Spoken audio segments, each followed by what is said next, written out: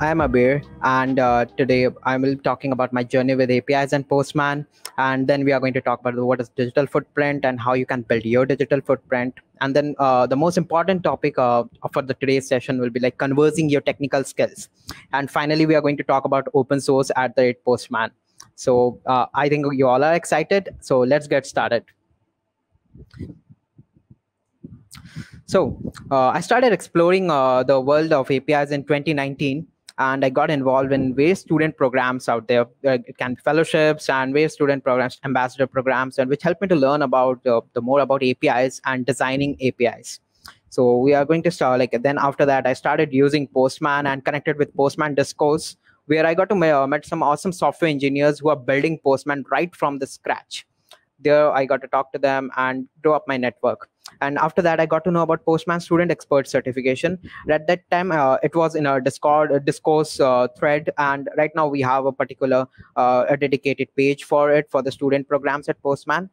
And then uh, afterwards that i i was really fascinated with apis so actually i just went up and uh, talked to my uh, seniors and we organized an api hacks hackathon at our university.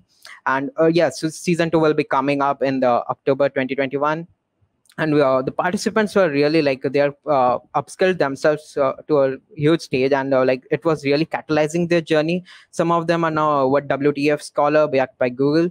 So it was really amazing to organize api hacks uh, last year. And now uh, again this is like uh, the journey started uh, being active in the API community, that Postman student Discord, to help me to get uh, my talk at Carnegie Mellon University and Georgia Tech. And it was the event was uh, like sponsored by Facebook Research and Google Brain. So as really, uh, it was really a helpful session, and it helped me to got up with the journey of APIs and level up the things for myself and this journey is still going on. And with this journey uh, i have a few things i've realized and few experiences that i'll i'll be sharing with you a few tips so that you can help yourself upscale and get the things done up. So let's get started. So uh, first of all that i'll be covering is what is digital footprint. So uh, why you should care about it. So whatever you see on internet whenever you're googling up your name it's what you leave behind to this enormous world wide web universe right so if you are doing some project back in 2010 uh, when you just started it, it may be a, some school project. If, if you can just google about it you're going to see that it's still there. So it's just creating a uh, trace of yours uh, of your work in this uh, in this whole world wide web universe. So what happens uh, if you are able to leave a positive trace then it will help you to even finding a right job and even collaborate with others build good network and also do some awesome stuff together. And who knows that you may get your first job through this uh, digital uh, footprint to the digital footprint you have created. So uh, i uh, like i have the stats which is collected from Covell so 63% of recruiters decided not to hire a candidate because of some fact they found on their social network so this is like uh, you know this is a good uh, good percentage that we uh, recruiters also see uh, the uh, candidates uh, digital footprint what he is doing or she is doing. And uh, based on that it also creates an impression. So leaving a good positive like a positive trace in the digital world is very important. So if you have started uh, like improving like if you have just started with the digital footprint up and uh, we you just wanted to get in um, get started with it or you want to improve your so improve your digital footprint you can directly just uh, stay follow these two tips that staying active on the right channels. If you are a student developer just be active on the github stack overflow linkedin and twitter. And tech twitter is really amazing and you can actually build apis and uh, uh, post it on twitter and uh, let people use it. So this is how like you can you're going to stay active in the right channels and always whenever you're posting something just think before what you're posting like what value it adds to your current profile. So this is the most important part. Uh, a lot of students and developers uh, always gets confused at what they should post. So they should first like actually see their current profile and based on that they should like if they if the post is adding a plus value to it just head over it uh, head over to it and just post it up so this is about like uh, building the digital footprint. And one of the most uh, important things uh, that uh, one should like uh, use like one should get started in building digital footprint is conversing like it having the technical sessions up. So this is uh, like the most important part of this whole session conversing the technical skills. So i'll share you one uh, recently uh, one experience happened. As you know that the recent spicon europe 2021 happening one of my mentors was a speaker over there so he was uh, talking about his job he's talking about his new feature about pycon or like well he was working with his company. So there he got to know like a recruiter from amazon reached out to him after his technical session at pycon europe.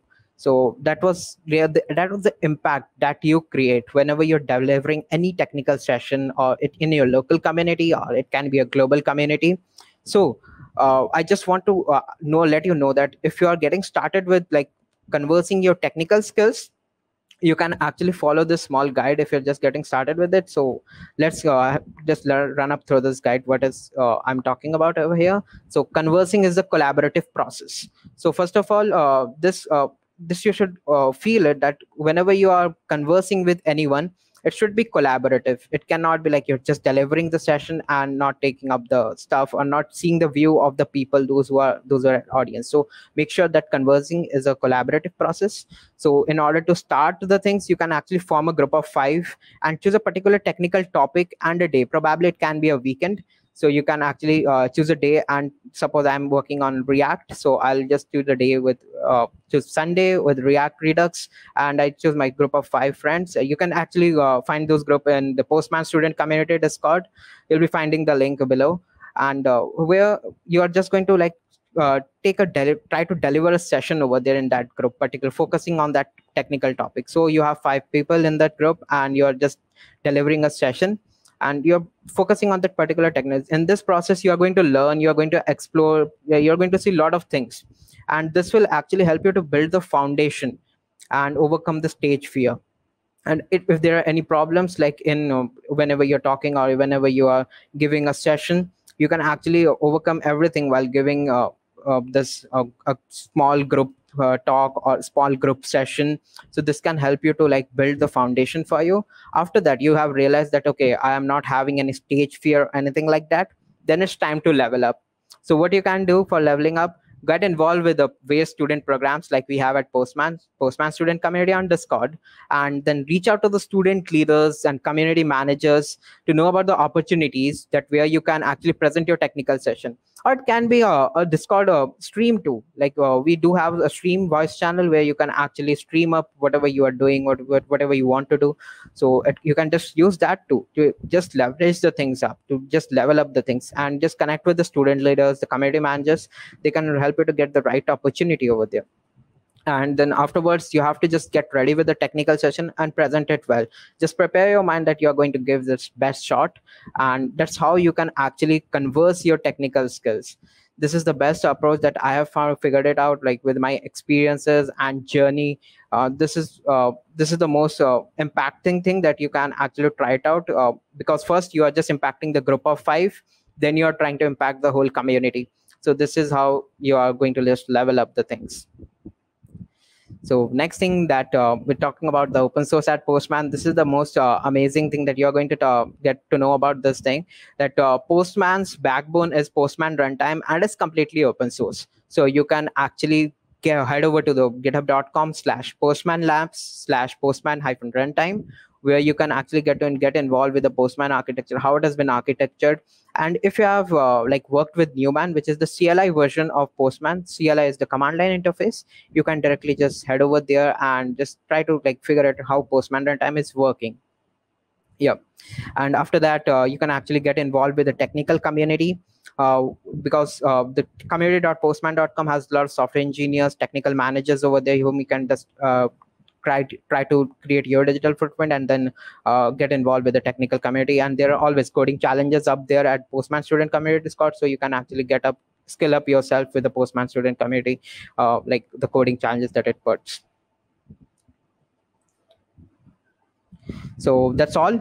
And uh, i'm really uh, happy to like uh, get you like i hope that you get to know all of these things and you're showing to, surely going to give your next technical session. And you can find the slides at the below link. And uh, that's all. Thank you for attending